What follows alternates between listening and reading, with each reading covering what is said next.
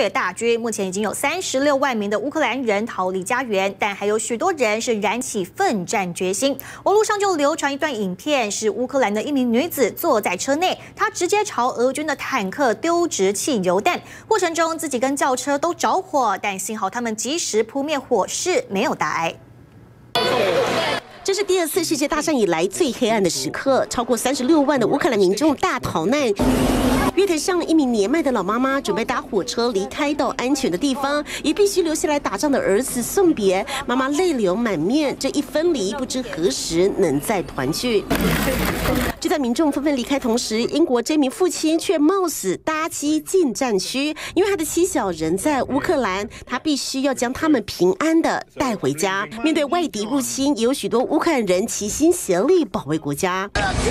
一群人开车经过了俄军坦克，在男驾驶的鼓吹下，坐在副驾驶座的女子直接朝坦克丢掷汽油弹。不过就在丢掷汽油弹的过程当中，女子和轿车都着火，幸好他们及时扑灭，没有受伤。而这名乌克兰男子为了帮四家军队开路，居然徒手搬到了一枚大地雷，嘴上还叼着烟，表情超淡定，冷静的把地雷搬到远方的树林。手无寸铁的乌克兰人与荷枪实弹的俄军狭路相逢。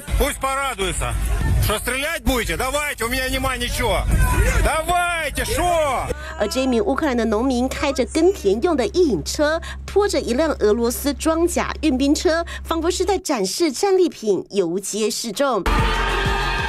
就连长相美艳的前乌克兰选美小姐雷娜，也脱下了高跟鞋，亲上战场。平时就热爱射击运动的她，呛瞎普丁，将杀光所有的入侵者。记者综合报道。